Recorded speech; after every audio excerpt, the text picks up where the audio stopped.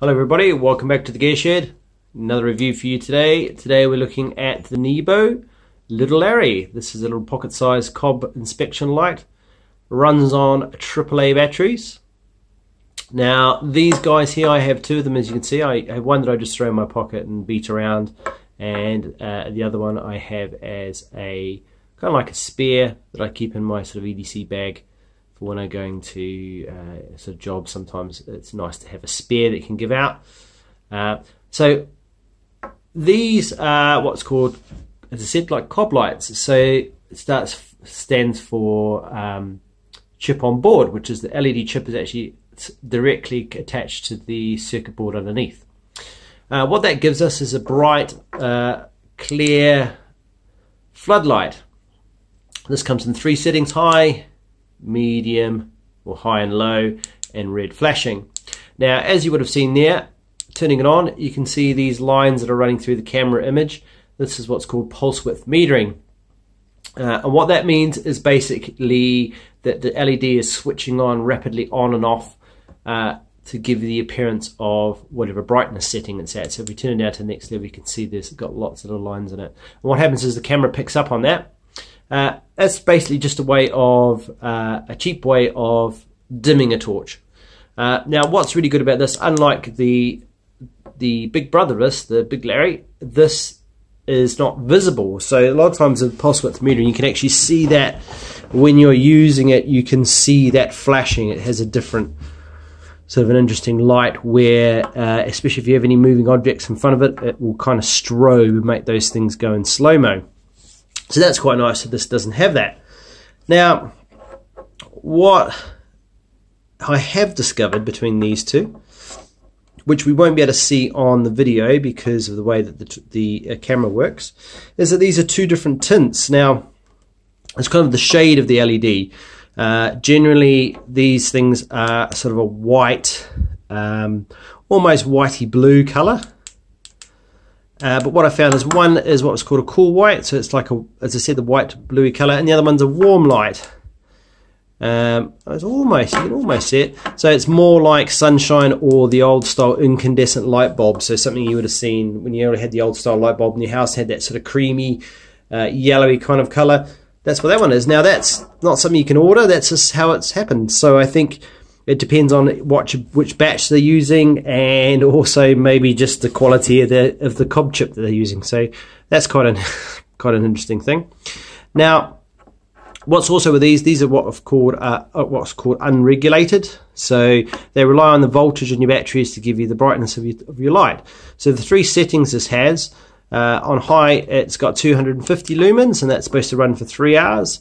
Then you have the low, which is about 90, 90 or 95 lumens, uh, and that's supposed to run for 10 hours. And then your flashing is supposed to run for 10 hours.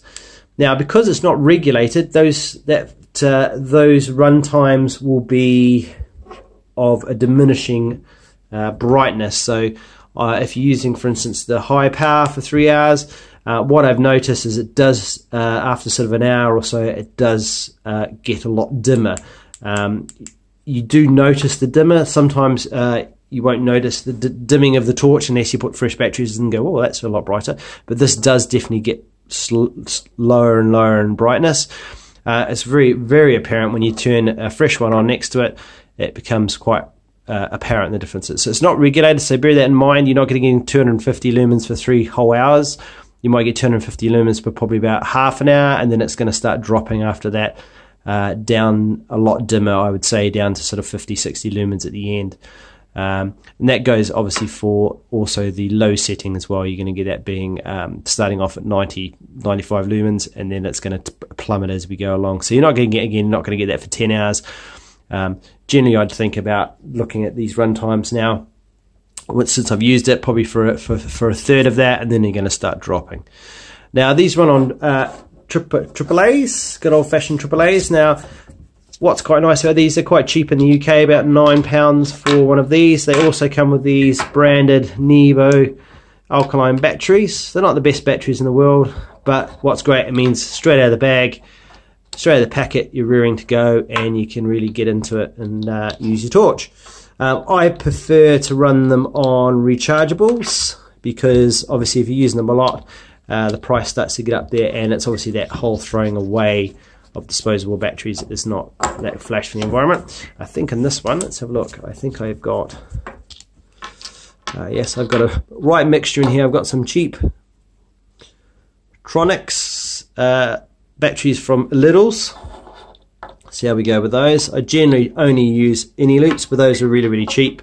Um, and for this kind of thing, I've, it's not massive mission, critical, but the Eneloops are a, a, better better buy. But I think it was eight eight of the Tronics ones for five five pound ninety nine. These are like five pound ninety nine for or well, nearly eight pounds for four. So there is a bit different cost. Ah, so the other thing is is for this. I don't think I can quite do it with this one. It's a bit tight. There are some rubber seals in the bottom here, some O rings in here.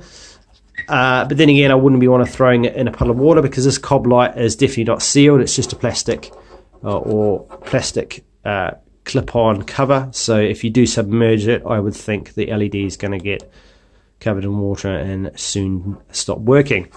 Um, what I have discovered is that you can take, take your batteries out like that, take this part of off. These are kind of a modular, so you can take that bit off there. That one's a little harder to get off, but this one comes off again, O-ring seal around there. And if you put two of these back in, and put your top back on, threads and everything on these are actually quite good. I mean, for the price, they're actually well made. Uh, and you get still get light out of it. It's not massively bright, but uh, it'd be interesting to see what sort of run times it runs on. So if you get hard pressed and you can only find two AA, triple A's, you can at least throw on a, a uh, two AA, two triple A's and get it working. What I thought would be quite cool is it's still relatively bright with the red flasher, so possibly it might make a reasonably okay bike light as long as you're not pedaling in the rain too much.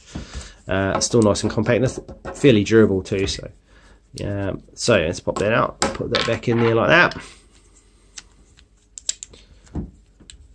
So what I like about these things is that they are quite floody, so they're very good for close-in work if you want to light an area, work on a piece of machinery, change a tyre, uh, light up a room or something like that if the power's gone out, or even a tent. They work quite very, very well for that. They're also really cheap, fairly durable. I mean, they've got an aluminium body. The only bit that sort of that could be dubious is this plastic cover here, um, and that lends themselves to being uh, you can able quite easily to give this to somebody if you're in a situation where it's dark and you've got a spare torch. You just say, "Look, here you go," and they can wander off and do it themselves. They're um, easy to learn. There's no massive learning curve. Is push a button three times, you get light. Um, also has a two-year warranty. I'm not sure how you go about actually claiming that, but we'll see how we go. But so far, pretty good. Now, obviously, downsides: run times. If you're running them on alkalines, is going to be crap, and you're going to have to go through a lot of alkaline batteries. So get yourself some rechargeables. It's a pretty no-brainer there. Um, I found the pocket clip to be nigh on useless for keeping it in your pocket because what happens is this, as you can see, there's a gap there. This one's not that bad. This one here, you could fly a plane through. Um, they don't therefore hold very well um, in your pocket. So you put it in your pocket, and then what I'm finding is that the, the, slightest brush or click on something will just pop your torch out. And, uh, and I've actually lost this one about three times at work because it gets caught on things and goes into packets and all sorts of stuff. So, yeah, the, the pocket clip isn't particularly reliable at all, really. Um, having the neodymium magnet on the end here, like the Big Larry, forgot to mention that. And downside with that is I find that therefore you have to have obviously something metallic that's in the right orientation for this to, to work. So um, okay if you're working on an engine or something like that and it's underneath you, but sometimes you want an area light one way or the other, and it's very difficult to find sometimes something to put on. So I would like magnet on the back would be quite handy, and I was actually thinking of uh, either gluing epoxying some into here or finding some shrink wrap and shrink, shrink wrapping something to that, so then you can actually clip it on a surface like that, magnet to the surface, it points straight towards what you're doing. So yes, but other than that, cheap reasonably light. Uh, they're at 90 grams of batteries, so they're not massively heavy. Uh, reasonably robust. The switch is reasonably covered. Every now and again, I do actually end up having um, the torch turn on in my pocket, but that's neither here nor there. Uh, yeah, so overall, quite good. Really good buy. I uh, would recommend it as kind of a semi-disposable sort of torch you can throw in your pocket, give to the kids, that kind of thing, uh, is the way forward.